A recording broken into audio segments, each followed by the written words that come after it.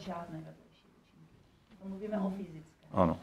To samé léky nebo cokoliv jiného.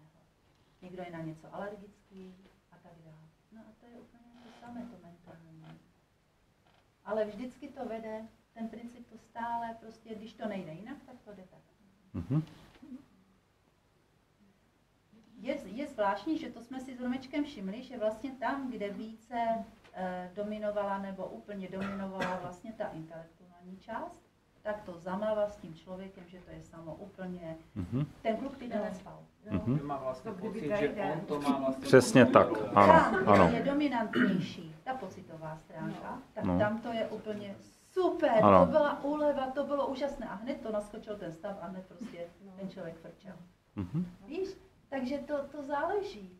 Marcelka mi dokonce jednou říkala, že se diví, že jsem se nezbláznil. A to narážela podle mě na tohle. Ne, to je tady, to je kvůli tomuto. No. Že teď to Romek říkal. Proto vlastně na závěr tohoto No. tématu, jako zase se zopakuje to se po každé, vlastně naočková ta mysl. Není důležité, co se vám tu říká.